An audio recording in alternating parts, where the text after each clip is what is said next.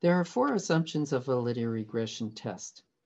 The first is similar to what we saw in the t-test. We have to meet the assumption that x and y are independent, and there's not really any easy way to, to determine that from the data themselves, but rather we have to think about the design of the experiment or the nature of the relationship as we talked about it when thinking about what was going on with the flowers. Whether the relationship is linear or not is something that we can determine by examining the data.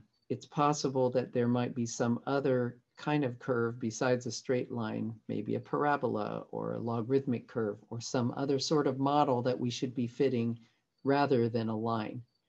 In the case of the data we just looked at, a line is probably as good as anything else, so that assumption should be met.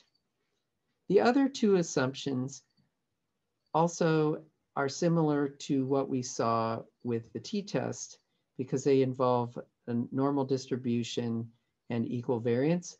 But in this particular case, since we don't have two different groups, what are the things that need to be normally distributed? In the case of a regression, it's the residuals that have to be normally distributed. And the variance of the residuals have to be the same for all values of x. Residuals are the distance vertically of each point from the best fit line.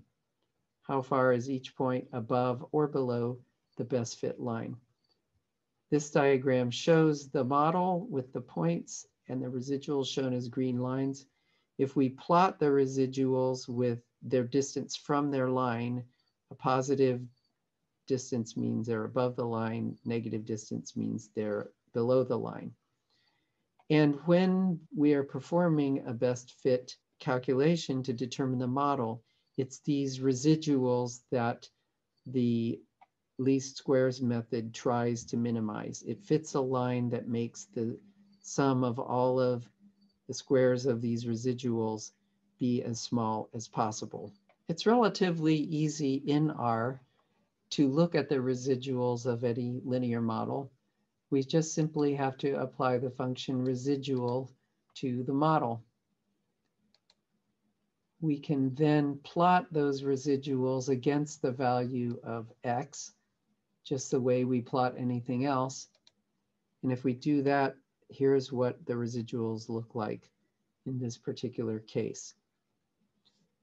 So it's these residuals that we need to check for normality and also check to see if their variance is equal.